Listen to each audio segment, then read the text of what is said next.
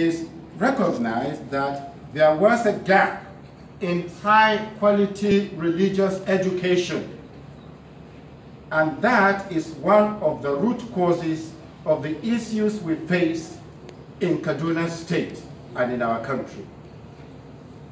I would encourage you, Your Excellency, wholeheartedly to see how increasing government investment in religious education can be one pillar of our response to violence and to conflict. The key, the key purpose of education is to open our minds to new thinking, to understanding the views of others. It is not simply to affirm what we already believe in and think we know. This can be especially damaging when it comes to religious education or a lack of religious education. When we think we know all we need to know about the religion of the other, whether you are a Christian or a Muslim, and are unwilling to expand your knowledge, there is a very real risk that you are yourself part of the problem rather than being part of the solution. How can we ensure that our youth are continuously learning about the beliefs of those who are different from them through good religious education? This is something that can be championed by government and supported by religious leaders and through institutions like Kaduna Center for the Study of Christian-Muslim Relations. As I speak of religious leaders and speak as a religious leader, I also acknowledge that we have a significant and weighty responsibility to practice what we preach when it comes to our understanding of our own religion and a good working knowledge of the other religion. In my travels around the Anglican world, and I cover 170 countries of the world, I am sometimes concerned to discover that religious leaders do not have an in-depth knowledge of what it means to even be an Anglican. We are getting our own house in order through supporting our bishops, in accompanying them in their role, and through more emphasis in theological education which is something that we have invested in at our offices in London and in our colleges, seminaries, and other institutions around the world. We must take a similar approach here in Kaduna State in particular and the other northern states in general. Religious leaders need to be accountable to one another we must be willing to challenge one another when we hear things that are false. We are not doing that now.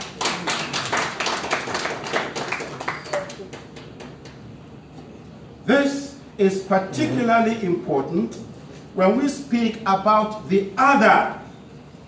Our congregations and our followers, they trust us as religious leaders we have an obligation to them to speak the truth and to actively ensure that we are speaking the truth by educating ourselves to a high enough standard. To be educated in this way does not mean that we must agree with everything that we learn. Not at all. I always crack this joke, and of course Sheikh Abubakar knows that very well. When, like this morning, when he prayed, after Surah Al-Fatiha, he recited Surah Al-Ikhlas. Um, and I followed him until we got to verse 3, and I kept quiet. you know, that's what it should be. I am not ignorant. He knows I'm not ignorant. but we do all things together. We can uh, disagree in the way we understand this concept of Allah. But Allah is the creator of everybody. But for Allah, we won't be here. Without apologies to those who are even offended by my saying Allah. if you don't believe in it, go to the Arab world. You have to explain to the Arab Christians what name to call Allah. I didn't say God.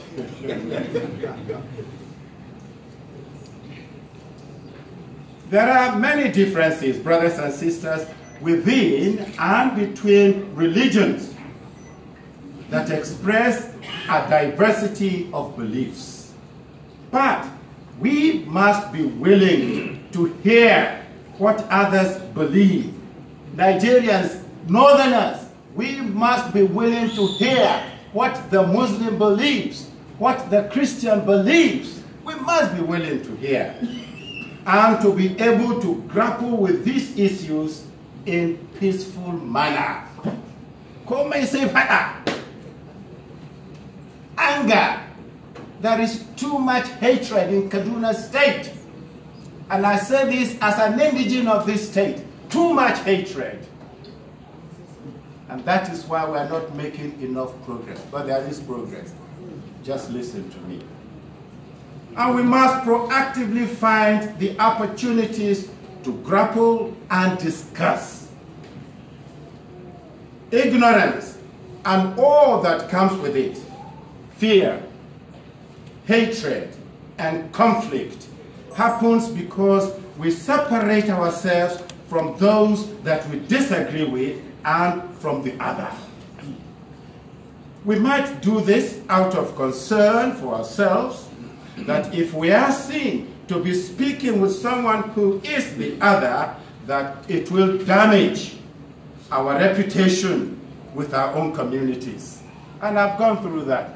I remember as Bishop here in Kaduna, I was on my way to Sokoto, as I always do during Ramadan. As the last day of Ramadan, I'll be in Sokoto and I will fast. We'll break fast together.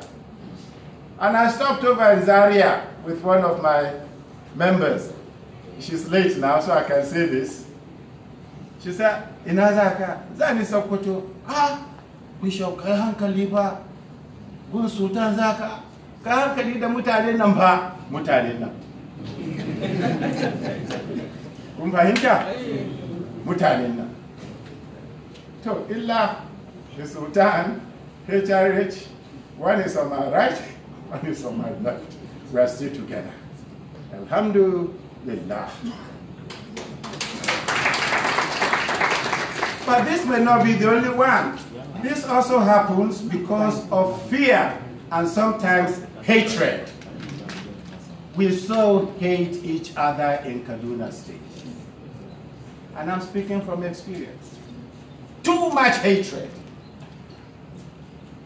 Some, when they hear the name Ma, kamar a human being created in the image of God. There is too much hatred. These are things that we must also work against in Kaduna State.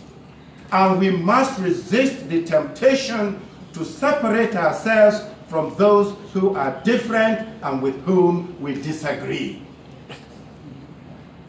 Therefore, we must engage in activities together. It is not enough to simply have knowledge and understanding in your head. You must also practice what you learn, my brothers and sisters. Religious leaders can set a good example in engaging in activities with leaders from the other religion. Perhaps sharing a platform on issues of mutual concern or taking part in activities that build trust and relationships. Two weeks ago, I was invited to the nation of Barbados. I was in Kingston at Bridgetown, Barbados. Christians, Muslims, and Jews.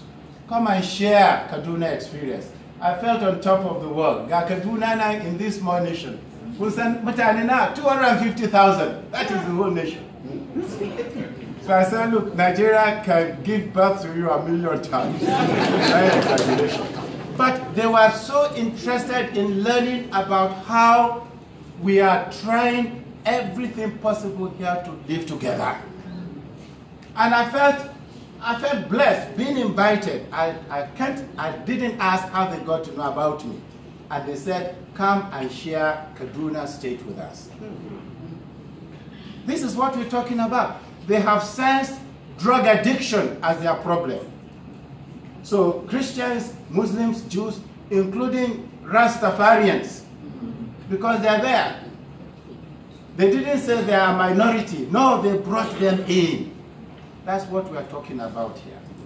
At our center, you know, I, I thought the students were going to share their experiences. When we say presentation, you know, the ma, ma, uh, malaprop, malapropism, the misunderstood presentation as giving gift. I wanted them to share what they have done at the center. now, during the last Ramadan, the Muslim students on their own, and I want Christians to listen to this because I have heard some of our leaders, bishops, archbishops, say look, you people, you are wasting your time. In Ramadan, why is it that the Christians are the ones that invite? They want to do this. No. At our center, the Muslim students, they cooked their food, invited their Christian brothers and sisters, they shared iftar together. That was what I wanted them to share. Amasu We are doing things together. We have visited Kano Road Mosque we visited the members of Wharf Road Mosque, so equate to Enya between us. That's what we're talking about. We need to do things together in Kaduna State. And Kaduna Center of Learning. Let us do it also as a center of religious tolerance. I come back to the quote that I began with from Nelson Mandela. Education is the most powerful weapon which you can use to change the world. Let me, at this point, publicly even thank, even though some of us didn't like it, thank our governor for taking education very seriously. It has to start from the primary level. When you have a teacher who hears presentation and instead of making a presentation, he brings gifts. Something is wrong with the teaching. Is that correct? After a presentation, I can come on a present. It has to do with the teacher. I know, Her Excellency, please take our appreciation to His Excellency. We want more radical moves within our schools so that Idansu Kaji presentation, they know that it is not gifts it is for you to come and share.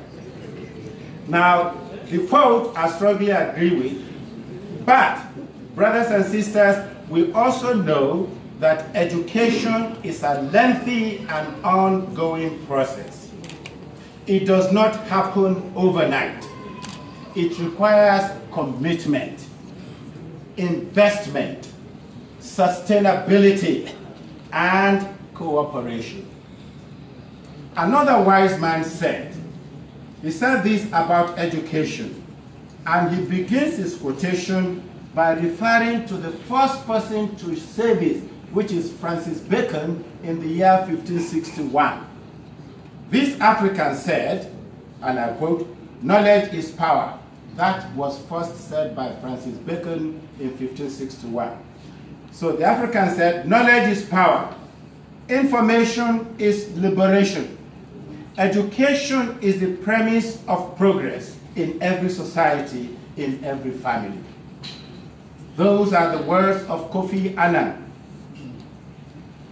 I am struck by the emphasis, by the phrase, education is the premise of progress. This is what we need to focus on, progress in Kaduna State. There is much to do, and education alone cannot solve all our problems. But where we see progress, we find encouragement. We have seen progress here in this center, and I'm so delighted and grateful to God that uh, His Excellency uh, Ahmed Makarfi is here because this center began during his time. I'm so grateful that he accepted to be here today. We have made much progress since the center was founded 15 years ago. Many people have left this place transformed, committed to making progress and to being peace builders. Huna Salah for our communities. Let us hope and pray that in another 15 years, the work of places of education like the Kaduna Center for the Study of Christian-Muslim Relations will not stop there. And people will not find it unusual that what is taught here is common in our schools, colleges, and universities. That we all know much more about the other and that we engage together much more. This graduation, therefore, is a powerful image of progress and one that we can all be inspired by. I congratulate our students and I thank you all for coming to grace this occasion. Shukran. Thank you very much.